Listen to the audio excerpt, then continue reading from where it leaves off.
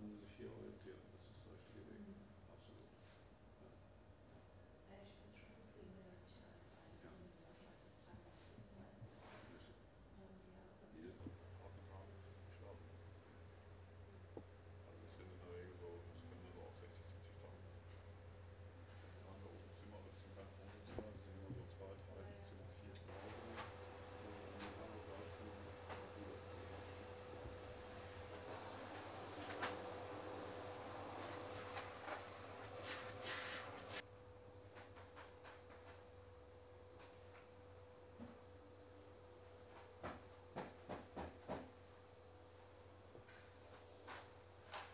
Ist also wirklich so, dass wir, was die Weltmeisterschaft angeht, äh, sehr locker die Sache äh, betrachten und auch der Sache sehr locker entgegensehen, weil wir Ad 1 darauf eingestellt sind, nicht, auch auf mehr äh, Zulauf seitens der Gäste, der mit Sicherheit so sein wird.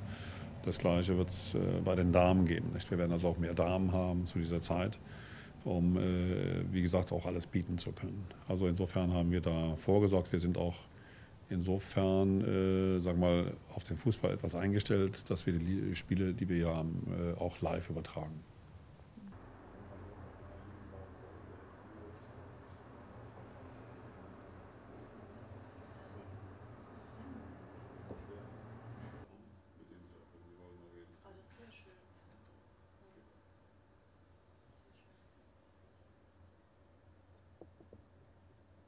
Also ich denke, dass wir alle sehr angespannt sind und äh, hoffen, dass noch, noch mehr, mehr Männer kommen werden als jetzt.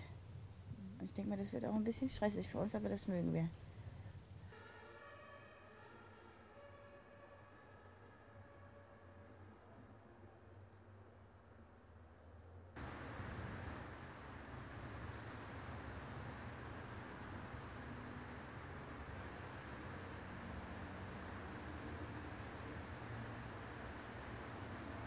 Telefonnummer können wir Ihnen anschließend geben. Gut. Ja?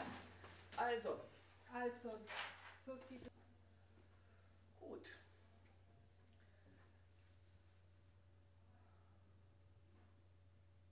Wir möchten damit deutlich machen, einmal, es gibt Zwangsprostitution und sie ist ein gravierendes Verbrechen gegen die Menschenrechte und sie muss bekämpft werden, sie muss nach Möglichkeit auch wirklich zum Stillstand, zum Ende kommen. Und deshalb haben wir auch sehr, sehr klare Forderungen äh, an die Politik, an die äh, Entscheidungstragenden gerichtet, die wir dann aber gezielt erst nach der Weltmeisterschaft in, ja, in mühevoller wahrscheinlich Kleinarbeit verfolgen müssen und werden.